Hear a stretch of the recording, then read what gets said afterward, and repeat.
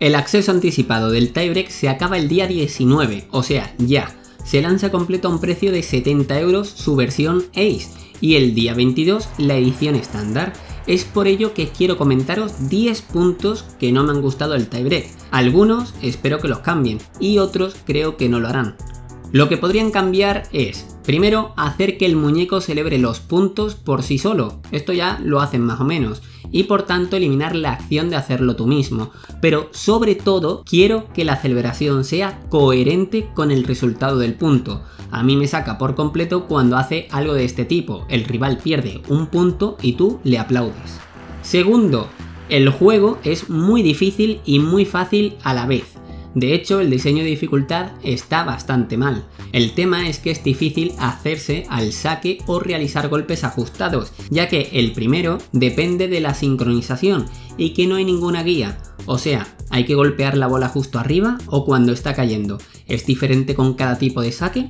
Mientras que realizar golpes ajustados se hace difícil por tener que ajustarse al tiempo de preparación y potencia del golpe, y sí, esto puede sonar muy guapo, pero no queda bien en la práctica. Si esto no lo modifican cuando salga, profundizaré en ello junto con el diseño de dificultad.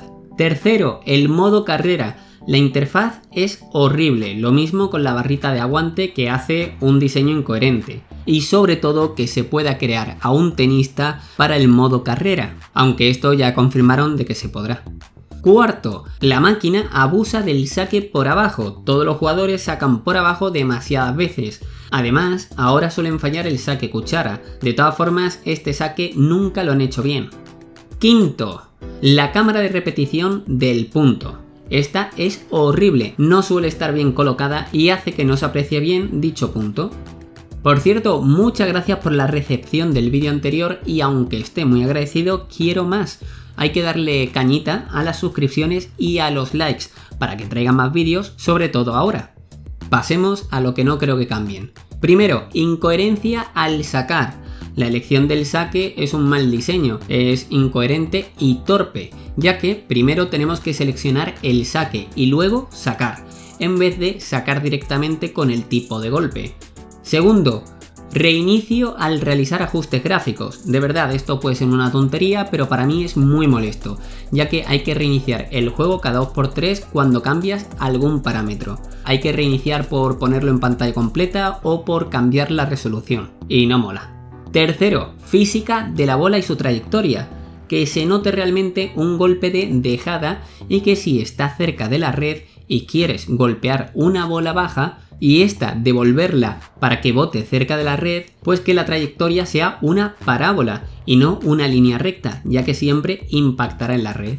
Espero haberme explicado bien. Cuarto, física del jugador. El muñeco se siente raro al correr, sobre todo al empezar, aparte de la manera en la que corre cuando le hacen un globo. Y ya que hablamos de globos, quinto, poder realizar golpes en carrera y que estos no sean globos. En fin, estos han sido los 10 puntos, espero que no sea un 10-0 en contra y que haya una especie de empate 5-5 en este super tiebreak. Comenta qué otros puntos no te convencen, recuerda suscribirte para que suban más vídeos como estos y más seguidos, no te pierdas el análisis que haré dentro de muy poco, un saludo y hasta más ver. Adiós.